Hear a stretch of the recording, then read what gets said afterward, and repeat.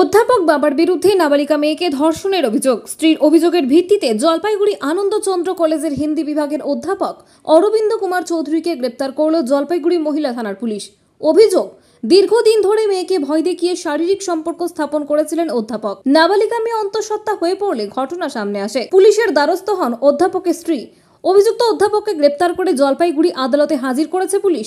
Jalpaiguri police super Debarshi Dutta জানিয়েছেন নাবালিকার মায়ের অভিযোগের ভিত্তিতে অভিযুক্ত অধ্যাপককে গ্রেপ্তার করা হয়েছে।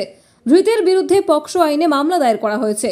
জলপাইগুড়ি জেলা আদালতে তোলা হলে আদালত অভিযুক্তর চোদ্দ দিনের জেল হেফাজতের নির্দেশ দিয়েছেন। আজকে এই কিছুক্ষণ আগেই হচ্ছে পেয়েছি। ওমেন্স পুলিশ স্টেশন জলপাইগুড়ি থেকে।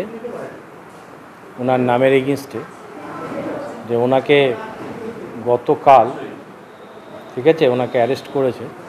তো আমি এই চিঠিটা পাওয়ার সঙ্গে সঙ্গে আমি আমার ঊর্ধ্বতন কর্তৃপক্ষের সঙ্গে যোগাযোগ করেছি এবং সবাইকেই জানানো হয়েছে এবং অবিলম্বে কলেজের গভর্নিং বডি আমরাও বসবো বসে তারপরে সে সিদ্ধান্ত যেটা হবে। উনি হিন্দিতে স্যাক টিচার নিয়ে আছে বাড়ি হচ্ছে রাজগঞ্জ ব্লকে আছে। Under section of POCSO act এই অ্যাক্টের সেতেই আমাদেরকে জানানো হয়েছে এবং আমি সঙ্গে সঙ্গে ঊর্ধ্বতন কর্তৃপক্ষকেও জানিয়েছি এবং অবিলম্বেই হচ্ছে আমাদের মিটিং হবে এবং মিটিংয়ে তারপরে কী সিদ্ধান্ত নেওয়া হচ্ছে তো নিশ্চয়ই এটা তো খুব দুর্ভাগ্যজনক ঘটনা।